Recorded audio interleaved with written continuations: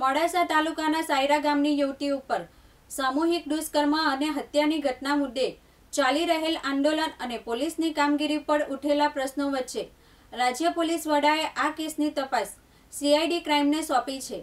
આ ઘટનામાં સીઆઈડી ક્રાઇમની ટીમે આરોપીઓનો કબજો લીધો છે અને ત્રણેય આરોપીઓનું ફરીથી મેડિકલ ચેકઅપ કરાવ્યું છે, જેને લઈને સીઆઈડીની ટીમ આરોપીઓને આજે કોર્ટમાં રજૂ કરશે.